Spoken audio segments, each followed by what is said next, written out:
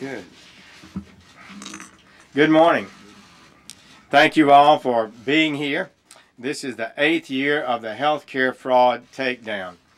This event highlights the enormity of the healthcare fraud problems we face. This problem is compounded by the fact that our country is in the midst of the deadliest drug crisis in our nation's history, causing more deaths than we've ever seen in our nation. Indeed, an extraordinary number of the cases that we will be highlighting today that are in our report uh, involve opioid prescription abuse. One American dies of a drug overdose every 11 minutes, and more than 2 million Americans are ensnared in addiction to prescription painkillers.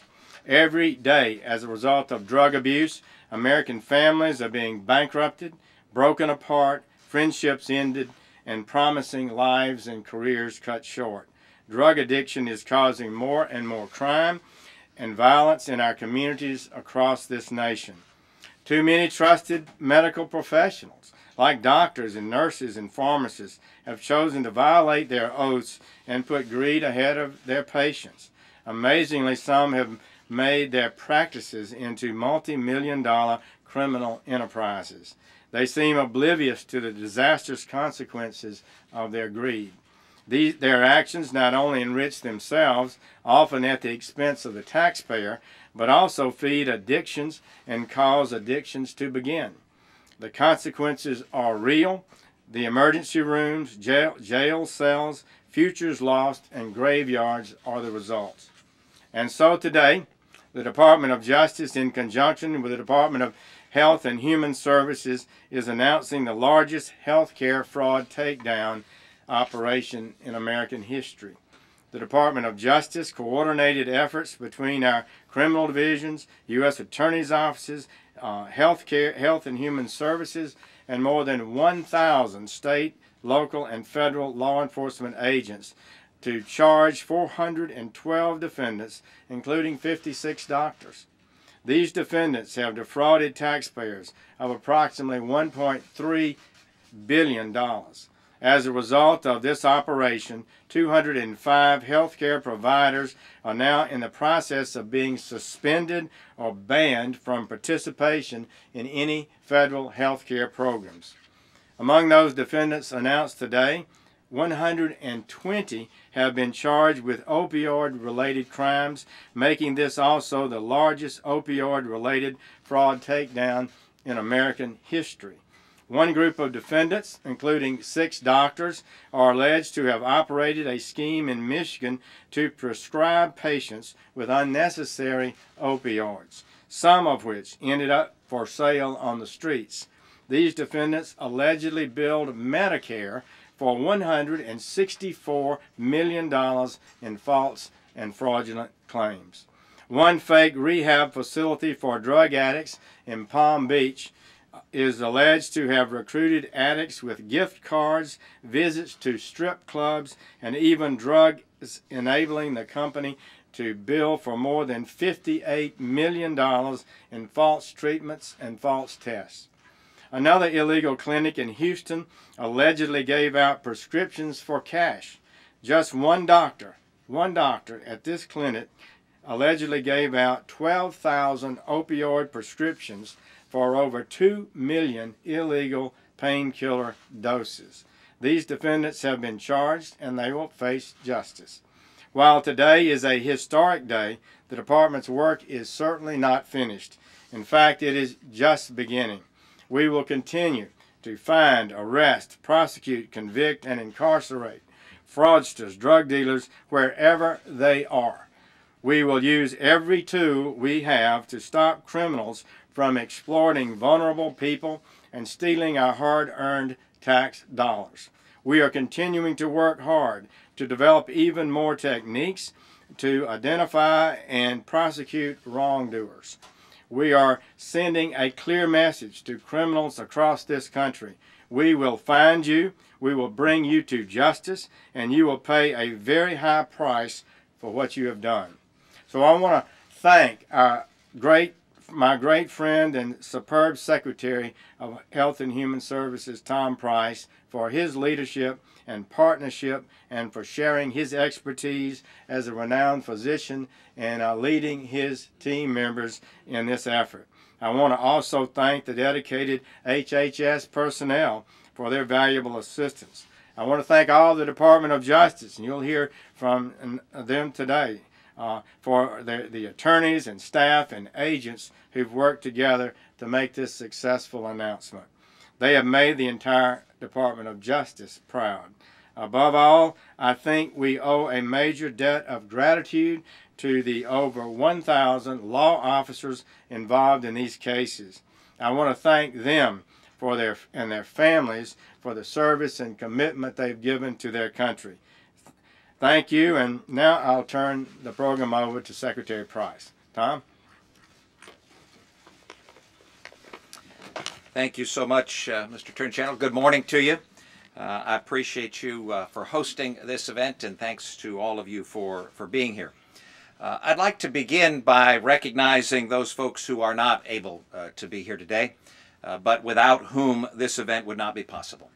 As the Attorney General mentioned, to the thousands of men and women serving in state and federal law enforcement agencies on the front lines of battling healthcare fraud in America, thank you for your hard work and your heroism that have brought so many criminals to justice. Healthcare fraud is a crime that deserves special condemnation and requires special cooperation to combat. Not only does it involve stealing billions of taxpayer dollars from America's seniors and the medically needy, but it also undermines the American people's trust in their healthcare system and our, nation's most important public institutions. As a physician and as Secretary of Health and Human Services, I can tell you that that distrust is oftentimes misplaced. America has the best doctors and healthcare providers in the world but their ability to provide affordable, high quality care to their patients is jeopardized every single time a criminal commits, commits healthcare fraud. So it's important to recognize that the individuals targeted within our takedown operations are in the business not of caring for patients, but of manipulating them and exploiting them. Now, with a name like the National Healthcare Takedown uh, Fraud fraud takedown, you might think uh, that this operation arrests mostly physicians, and in some cases they do. But that's not the case but for the majority. In fact, it's not even close. This year's takedown involved over 412 charged defendants, but the vast majority of them are not physicians or healthcare providers. And even those defendants who do have a medical license in practice, they are not true medical professionals, they're professional criminals. This is especially true of the criminals who prey on some of the most vulnerable in our society, the millions of people struggling with drug addiction. For most Americans, the opioid crisis, tearing apart families and communities all across our land, is a cause of great sadness and of sympathy. But a few individuals look at this national scourge and they see an opportunity to profit from their fellow citizens' suffering and pain. And that's why this year's national takedown operation aggressively targeted individuals who have maliciously contributed to America's opioid epidemic while also engaging in healthcare fraud. Thanks to the efforts, these efforts, fewer criminals will be able to exploit our nation's opioid crisis for their own gain. And more people struggling with addiction will be able to get the help and the treatment that they need. And this really epitomizes what the National Takedown operation is all about. More than 50 years ago, America's tradition of helping our neighbors in need inspired a generation to create Medicare and Medicaid, programs that provide critical health care services to America's seniors and those most vulnerable. Now it's our generation's challenge to keep the promises of these programs and to protect them for our children and for our grandchildren. And this requires relentlessly pursuing anyone involved in defrauding our nation's health care programs someone who instinctively understands the importance of saving and strengthening Medicare and Medicaid for future generations is President Donald Trump. We saw this in his first budget request, which called for a new $70 million investment in the healthcare fraud and abuse control program through HHS. And we saw it in his choice for Attorney General. And we will continue to work collaboratively with the Department of Justice and the Attorney General in this area and look forward to much more success. It's now my privilege to turn the podium over to the Inspector General for the Health and Human Services Department, Dan Levinson.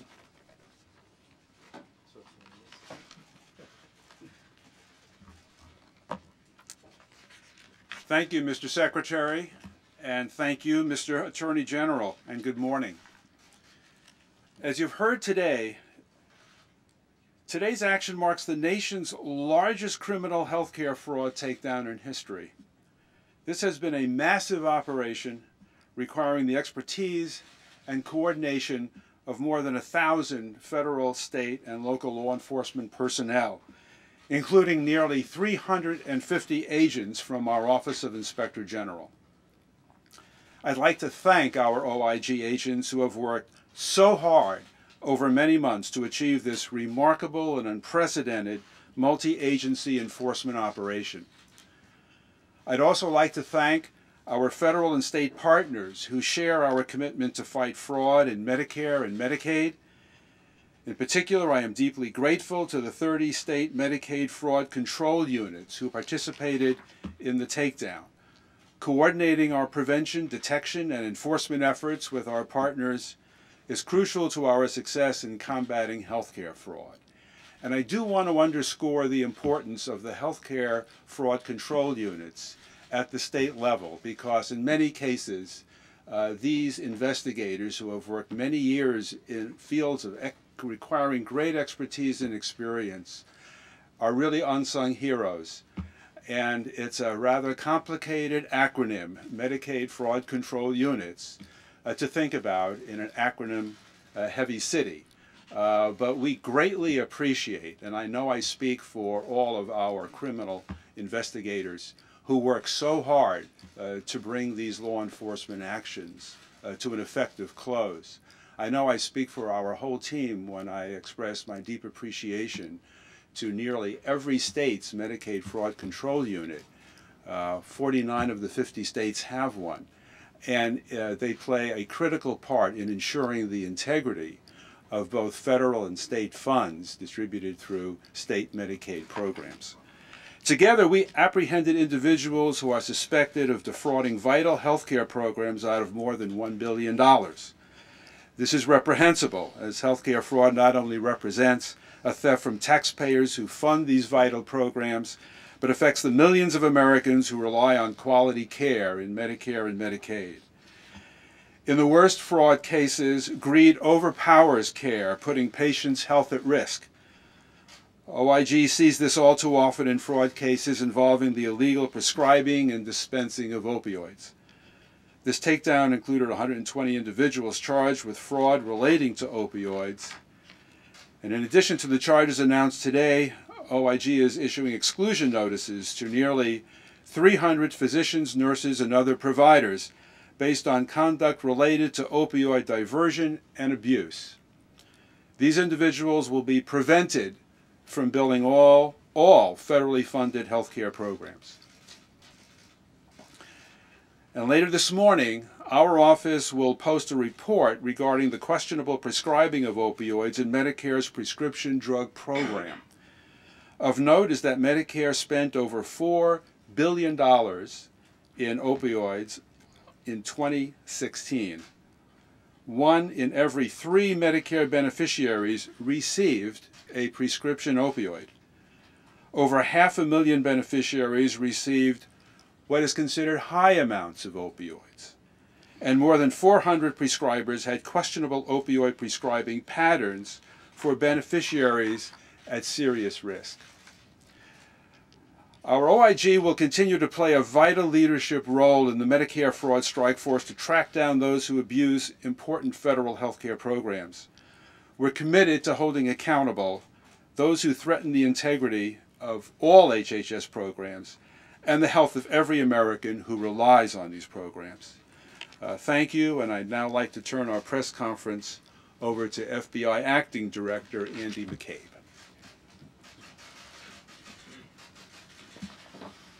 Good morning. I want to join the Attorney General and Secretary Price in thanking those folks who do the hard work that make these cases possible, especially my FBI agents and analysts in the Criminal Investigative Division and the healthcare fraud unit, and in the 29 FBI field offices who participated across the country in the enforcement actions we're talking about this morning. And of course, I have to thank our partners in the federal agencies and at the state and local level, and particularly on the Medicare Fraud Strike Force teams. Without their assistance, we would not be here today. So these folks are the ones on the front lines in the fight against healthcare fraud. And this takedown is an incredible example of the success of that partnership. It's obvious to anyone who picks up a newspaper or turns on the news that the nation is in the midst of a crisis. Opioid abuse destroys lives and it devastates families. It's become so prevalent that the number of related opioid related deaths increases each year. And these overdoses aren't just happening in some places, they're happening every place. They're happening in towns and communities all across the country. Men and women of all ages, of all races, and all backgrounds fall victim to it. Narcotics officers have arrested school teachers, doctors, nurses, and fellow law enforcement personnel. And many who succumb to the lure of the opiate high are kids. Kids who took one wrong turn and became hooked. This week, we arrested once trusted doctors, pharmacists, and other medical professionals who were corrupted by greed. These people inflicted a special kind of damage. They not only defrauded Medicare, Medicaid, and TRICARE out of many millions of taxpayer dollars, they preyed on the vulnerable, distributing powerful opioids to people they knew were hooked on them. In some cases, we had addicts packed into standing room only waiting rooms, waiting for those prescriptions. We have doctors who wrote unnecessary narcotics prescriptions to addicts and drug dealers in return for $250, $300 cash payments for each visit. Some doctors wrote out more prescriptions for controlled substances in one month than entire hospitals were writing. To opioid addicts, these prescriptions escalate their dependence on drugs. They are a death sentence, plain and simple. The FBI's role in fighting healthcare fraud continues to be a priority for us. FBI special agents and analysts work these cases in all 56 of our field offices. And as I said earlier, 29 of our FBI field offices took part in this week's National Healthcare Takedown. And that includes the efforts of about 370 FBI personnel who worked on that team of over a thousand law enforcement folks that you've heard referred to this morning. We know that we need to be proactive in stopping opioid abuse. And that's why our healthcare fraud unit has started the Prescription Drug Initiative.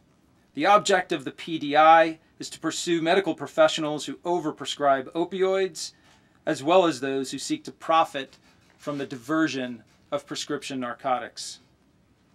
We in law enforcement know that we cannot tackle this problem alone. We've got to work with our public health, treatment professionals, and educators to increase public awareness about the perils of opioid addiction. This year's National Healthcare Fraud Takedown removes dozens of corrupt medical professionals from serving the public and we hope that these arrests will deter other doctors and nurses and pharmacists from the lure of easy money at the expense of the most vulnerable. And as we all know, when providers steal from government healthcare programs, they decrease the resources available to those programs and to the taxpayers they were meant to serve. And that hurts us all. Now I'd like to turn things over to Acting DEA Administrator Chuck Rosenberg.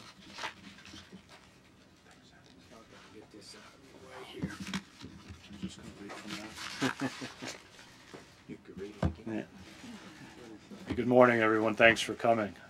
My genuine thanks to those who investigate and prosecute these cases.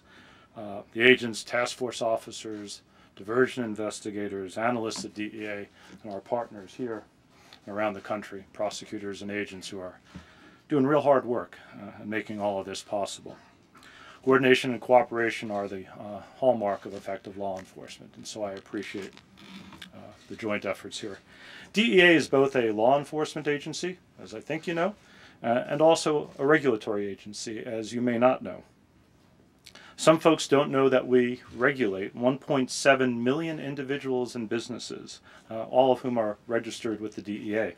And these, these registrants represent the entire drug supply chain.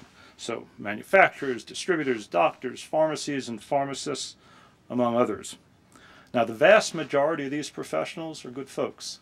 In fact, the vast majority of these professionals are allies of ours. They help us. Uh, however, the few who don't and who aren't have an outsized impact on public health and safety. Prescription and over the counter uh, drugs are among the most commonly abused substances by Americans aged 14 and over. And among prescription medications, hydrocodone number one and oxycodone number two, both of which are very powerful opioids, uh, lead the way. Uh, used and monitored properly, these drugs can bring great relief to people with severe pain. Uh, used improperly, they are extraordinarily dangerous. We also know that there is a causative and correlative relationship between addiction to prescription pills and addiction to heroin. Here's two really daunting numbers. Four out of five new heroin users start on prescription pills. And in the United States, we have about 600 new heroin users each day, which is remarkable. So we need to change the culture in the United States. We have to, we have to dramatically reduce the demand for prescription pills and the other dangerous drugs such as heroin to which they lead. Now, changing the culture is hard. It can be done. Because if we do it, if we change the culture, we're going to save lives. But we also need to prosecute those that disregard the law.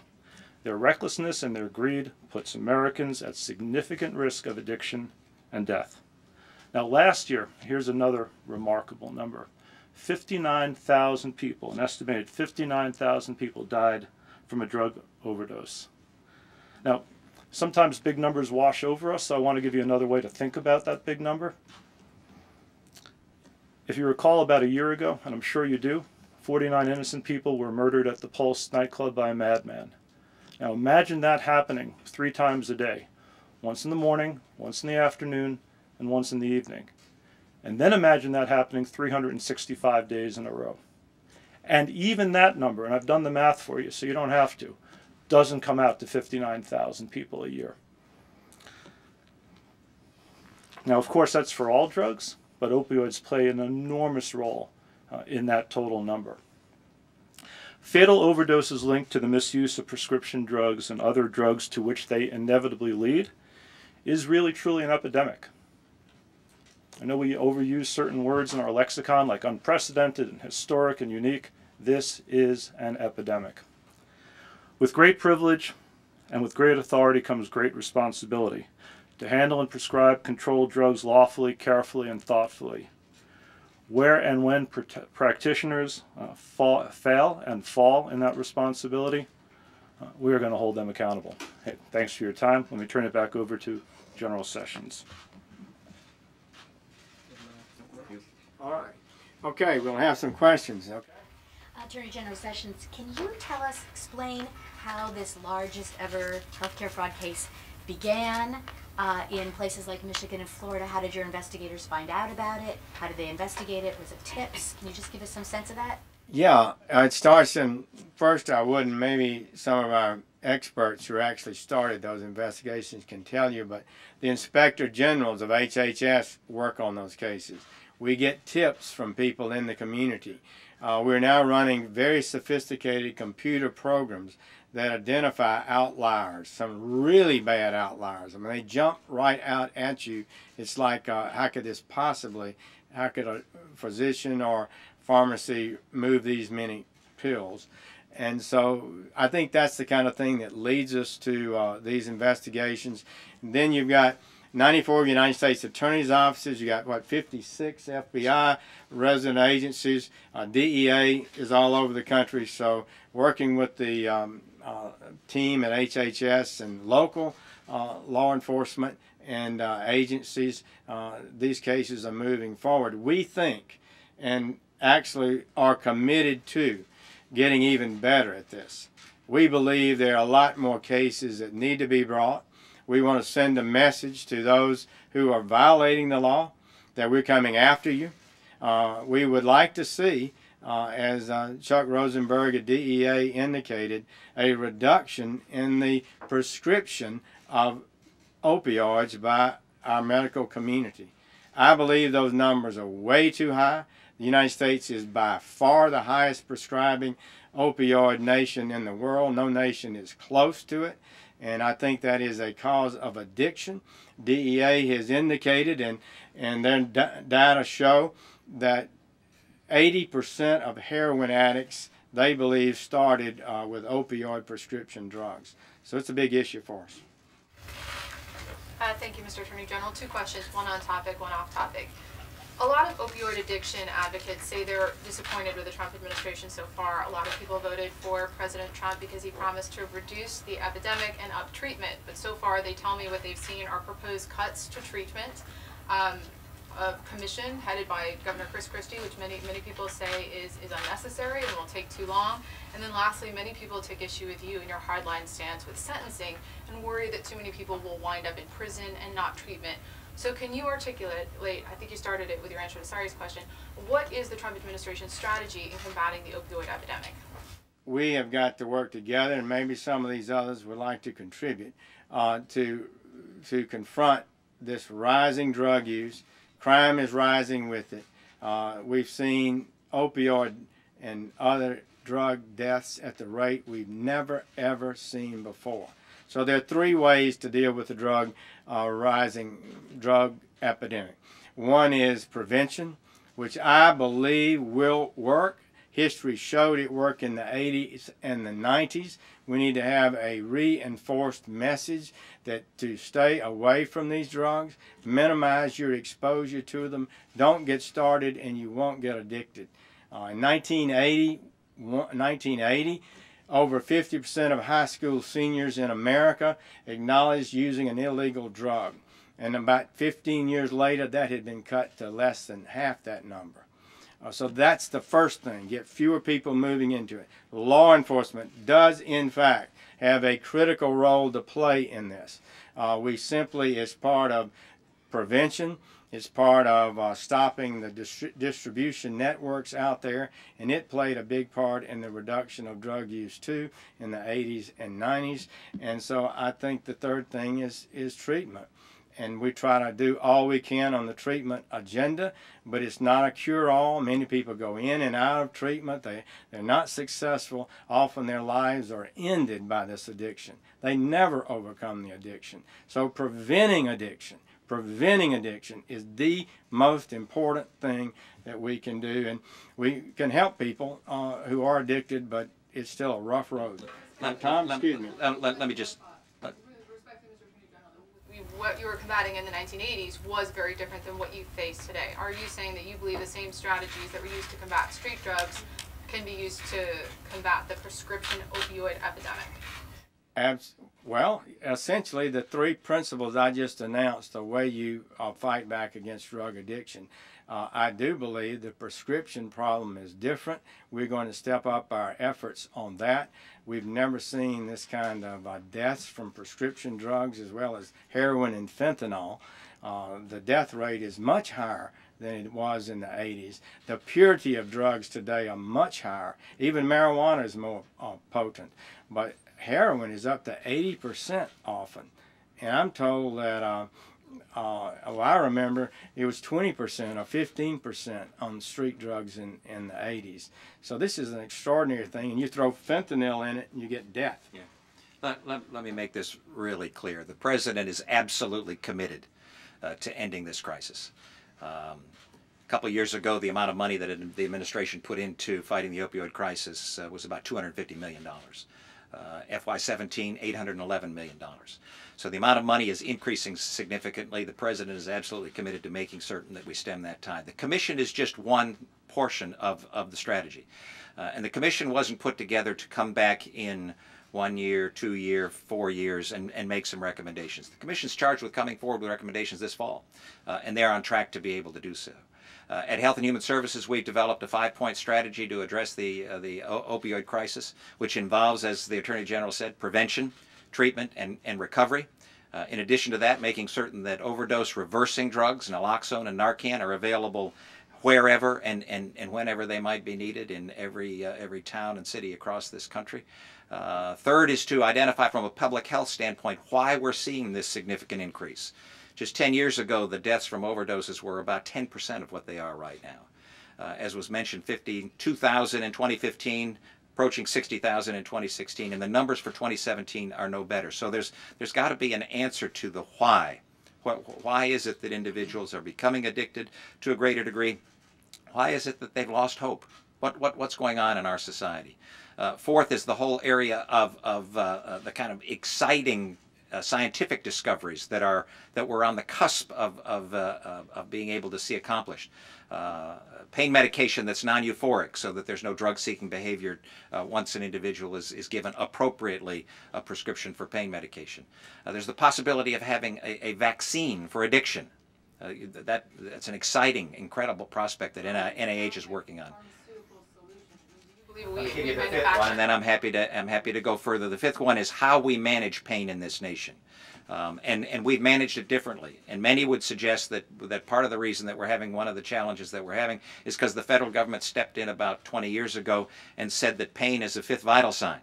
Uh, and that, that physicians and other providers were incentivized to prescribe opiate narcotics. Uh, and that began that curve, that significant curve up, or it correlates with that significant curve up. So we're working with the, the uh, veteran, the VA uh, administration, because that's where that began, uh, to try to turn turn back that tide, so that we can not have more uh, overdose deaths in this nation, but but have less. This administration is absolutely committed to turning it around. All right, Pete, and then Pierre, and then we're gonna go. Thank you, uh, Mr. Rosenberg. Can I ask you a question because a lot of this involves Medicare fraud uh, and that would mean overdosing or overprescribing to seniors. In what way are they especially vulnerable to uh, overdoses of opioids? Gosh, you got all these smart people up here, Pete, and you pick on me? well, I, I, think seniors have to be particularly careful for a couple of reasons. Uh, first, as you get older, you take more and more drugs, prescription medications, and so there are more dangers of drug interaction. So seniors might be more susceptible to falls or disorientation, dizziness, and opioids can exacerbate that.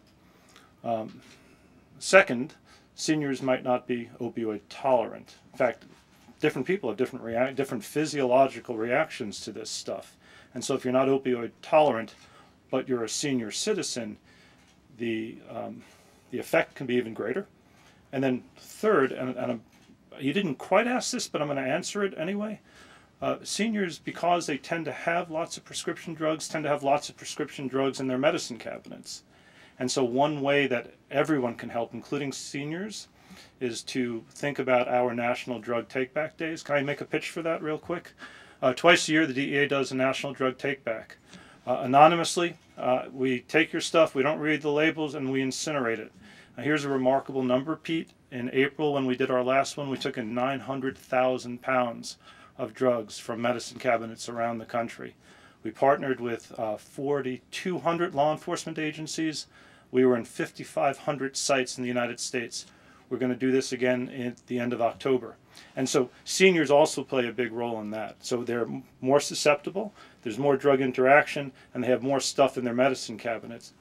Because four out of five new heroin users started on prescription pills, I should also add that most of those who started on prescription pills got it from someone who got it legitimately. And that's why you need to clean out those medicine cabinets. Question for General Sessions and uh, the DA administrator and who else would like to jump in on. The number that you mentioned, 59,000 people dying in 2016, um, the overwhelming majority uh, involved in opioid addiction. Um, a case uh, that still haunts me, uh, I think it was in Pennsylvania, of both parents ODing and the infant dying uh, as a result of the parents being downstairs dead and no one to take care of the uh, infant. What's it going to take, because obviously something's not working, for the country to understand the level of this problem and the nature of the problem and what do you think that should be? I'll let you. I would just say I think you're correct that we haven't. It hasn't dawned on this on us the enormity of the deaths that we are seeing from uh, illegal drug use. Fifty, uh, 2,000, I believe, last year, around 50. Uh, we project perhaps 60,000 this year. It's still going up dramatically. In New Hampshire, a few months ago, I was there with a large crowd of high school students. 50 mothers stood before those kids who lost a child to drug overdose. This is very real. Uh, it's a much more death dealing uh, crisis than we had with drugs even in the 80s. So I do think it's important. Tom, you, you let me ask you to comment. Yeah, I, I've been, um, as I mentioned, the administration is absolutely committed to stemming this tide, and I've been going around the country uh, uh, to to communities large and small with Kellyanne Conway to to talk with uh, uh, with law enforcement, to talk with uh, healthcare providers, to talk with faith-based folks, to talk with uh, recovering addicts, recovered addicts, parents of, of of folks who have died. And I was struck by something that a recovered addict, a recovering addict, uh, said in, in Maine, and that is, if you've seen one addict, you've seen one addict. Uh, and so the, the challenge that we have is that the local communities where, where people love their neighbors and want to care for the neighbors is the key to solving this challenge. One of the biggest problems that we've got is that is that we, we re- somebody's reversed, has an overdose and, and is reversed, and then having the handoff of that person to a recovery center. Um, and oftentimes around the country right now, sadly, that reversal occurs and that individual isn't handed off to, to a recovery center for a variety of reasons. I talked to one fire. Uh, uh, fi- there's a firehouse in, in West Virginia that has a has a, uh, uh, um, an open door policy for folks uh, who who uh, are overdosing. They come in and they reverse them. One fireman reversed the same young lady three times in one day. That's a system that is failing that individual when they can't take that person and get them to uh, uh, move move toward uh, recovery. So we're working with the local communities. We were in Chattanooga just uh, uh, just last week. Uh, that, that is doing incredible things and beginning to see a turning of that curve of, of, of increasing not just addiction but uh, but overdose deaths. Uh, and so it, it, it's different for every single person. But what that means is that we've got to be as attentive as we can be to all of the strategy elements that I outlined uh, earlier. Uh, and and this administration is committed to doing just that. All right, thank you all. Thank you. Thank you. Thank you.